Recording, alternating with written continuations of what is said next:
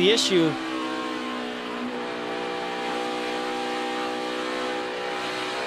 Great battle for seventh place. Oh man, this is fun to watch.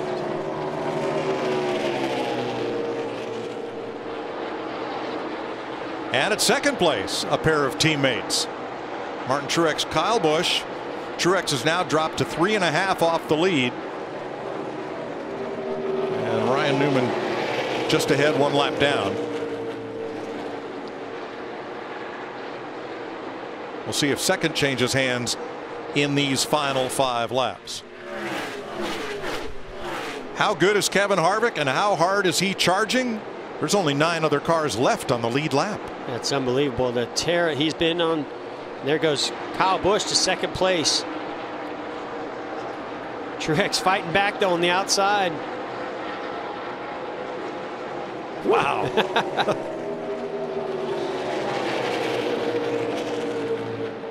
Just sliding around at 180, 190 miles per hour, Mike. That's all. Right.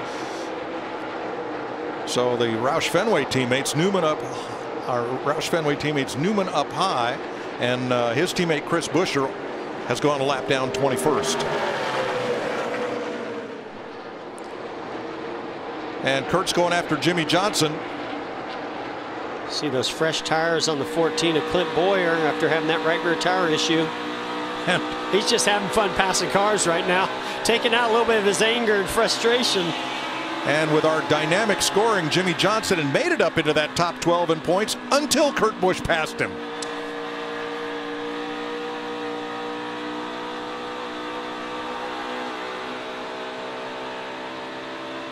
Three to go.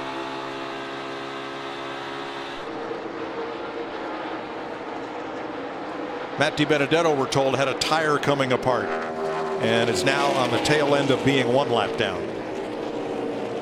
Well, this, yeah, I know it's only two laps to go, but boy, I'd be I'd be worried if I'm some of these guys about those tires, even with two laps to go.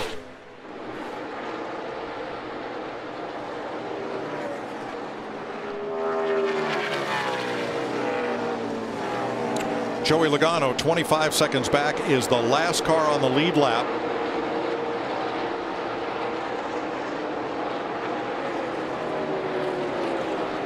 And the white flag is waving as we have one lap to go sponsored by Credit One Bank. And that is the mercy flag for the rest of this field. Yeah, this has been an impressive day.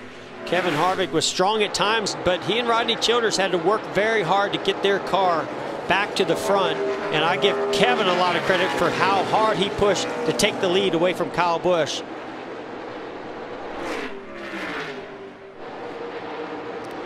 We'll light that candles on Rodney Childers' birthday cake because Kevin Harvick wins Atlanta. Great pit stopping. What? I don't know.